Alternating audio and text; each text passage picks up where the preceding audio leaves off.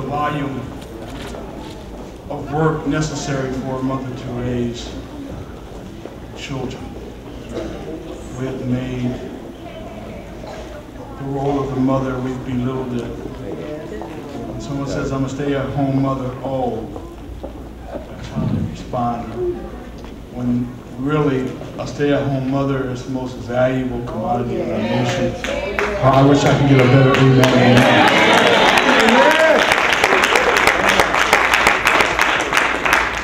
I say that because it was not for them, we wouldn't be where we are today.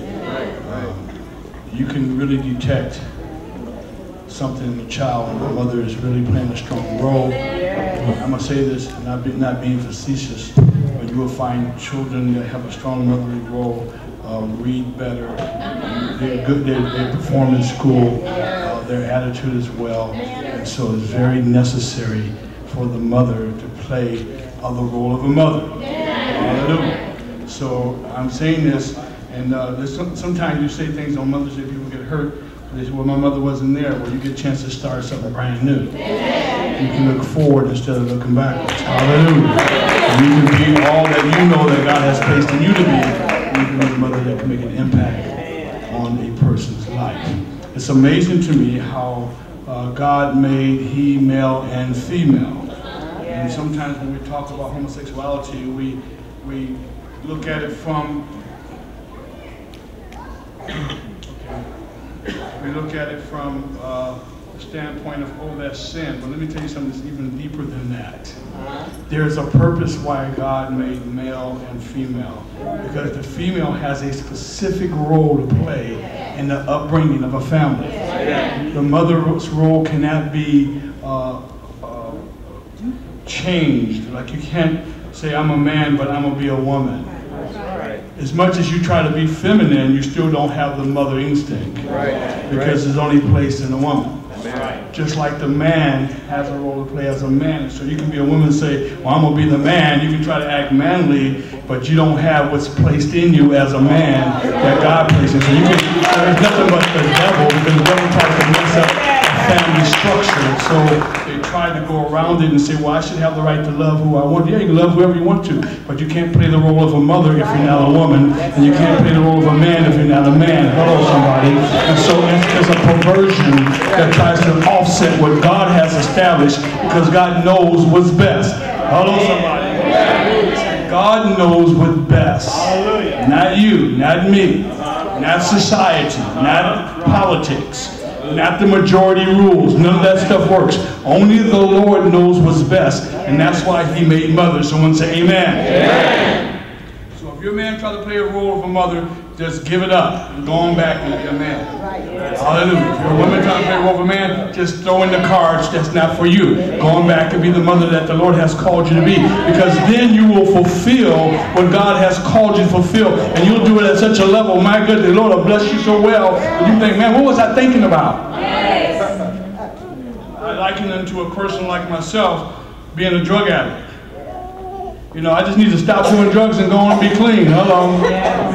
Is Sebastian, you doing drugs now? I don't know. Should I go ahead and take a hit right now while I'm standing here? No. The devil is alive. No. No. No. What, what do you think? No. I got the pipe. The devil's alive. I'm gonna go ahead and hit cocaine right now. No. That's what people tell you. I, I'm gay, but I want to be on the keyboards. Should I be on the keyboards and still be in a way that's not acceptable with God? Come on. Can't do it. Yes, sir. Come on. So this morning we are saying thankful. Thank you to all the women that are women indeed. Hallelujah. All the mothers that are mothers indeed. Hallelujah. I respect your role. I respect your role. I respect your role. You might have three kids, but my mama had seven kids. Seven kids and gave us breakfast, lunch, and dinner. And worked the job. Hallelujah. So I know it can be done.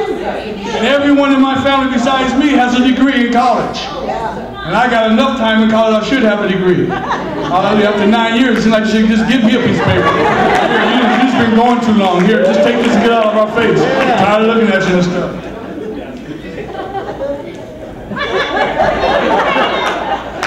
Luke chapter 17. I'm thankful for our first lady. She's a, she's a wonderful mother. For all of you that are, have merged families, any merged families in the house?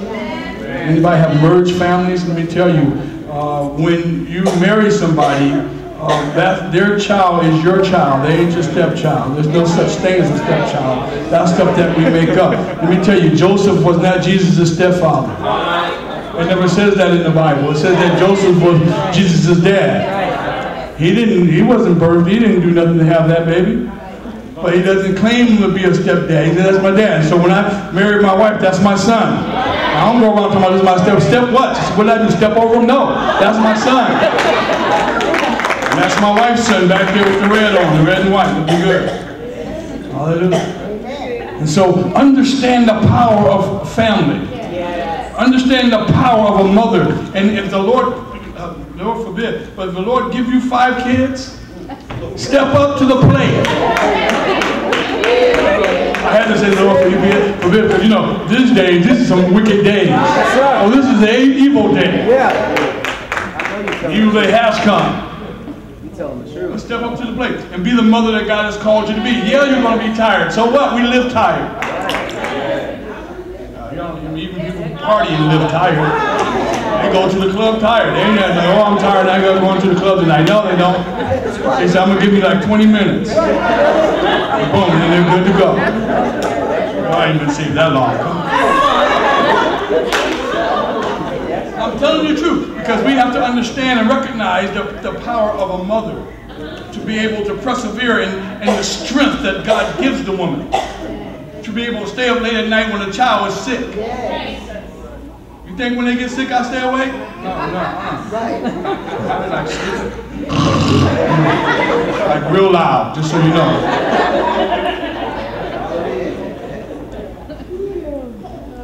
Mothers have a, a, a way of really being there for the child, more so than a father. Because I, I don't want to hear it. I'm trying to say it the nice way. There's really no nice way of saying it. Because we say stop crying, stop, stop shut up all that crying stuff. But the mother would be like, okay, roll their nose. Look, I ain't trying to touch your nose. No, I'm not doing it. Get your mama. You get scratches and she all clean the sore out. I'm not cleaning nothing now. I'm gonna pour the alcohol from a distance. Oh, I wasn't supposed to use alcohol? Oh, my bad. Amen. Mother. So different. So different. But given to us by God. Amen. And I want to say Happy Mother's Day.